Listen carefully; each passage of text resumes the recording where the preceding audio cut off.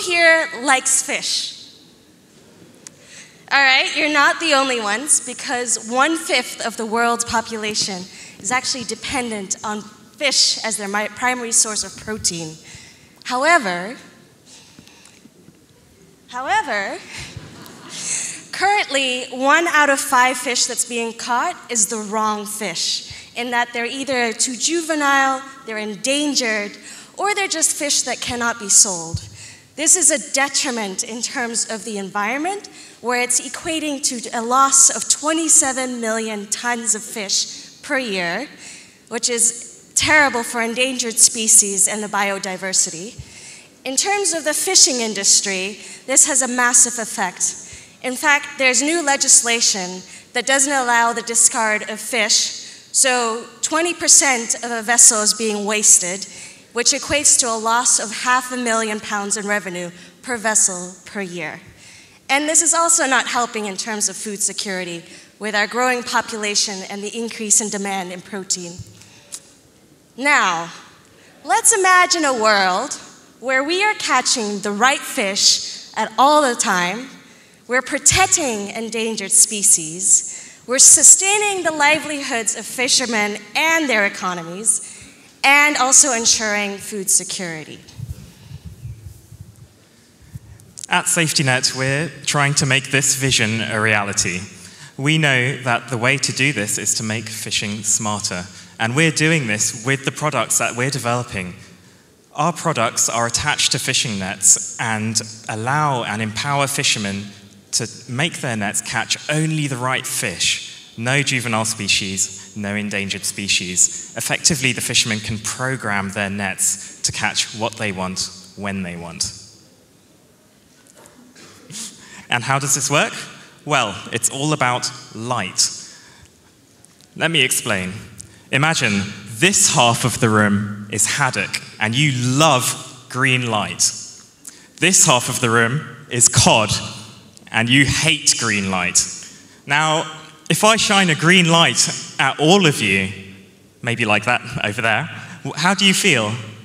Well, it turns out fish feel the same way you can use different wavelengths of light or colors of light to affect, attract, or repel different species of fish. And that's the mechanism we're using to increase fish selectivity when fishing. This may sound like science fiction, but it's not. It's an active area of research all around the world, and we at SafetyNet are working with many leading academic researchers and industry bodies in the area. In terms of commerciability, we are targeting the global industrial fleet market, which represents 8.11 billion pounds. So of this, this is representing 64,000 large commercial vessels. However, 1.38 billion pounds of this is actually being lost to these discards right now. So by starting out by targeting the initial 10%, we can see exponential growth year on year. And how can we do this? We have a market-ready product.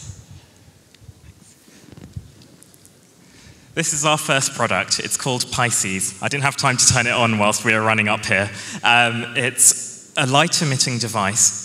20 of these are given to fishermen to attach on their nets. It has a very simple clip system that can be operated with heavy gloves. And you can calibrate this to emit any wavelength of light depending on what fish species you wish to repel or which species you want to attract into your net.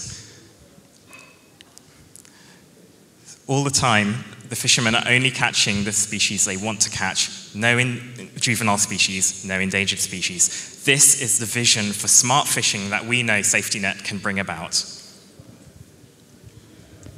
So, this is a picture of an academic trial that was done off the coast of Oregon that reduced 90% of bycatch. This is technology has been proven, and we can do this. So, not only are we increasing fishermen's revenues by 20%, but that we also allow them to comply by all regulations.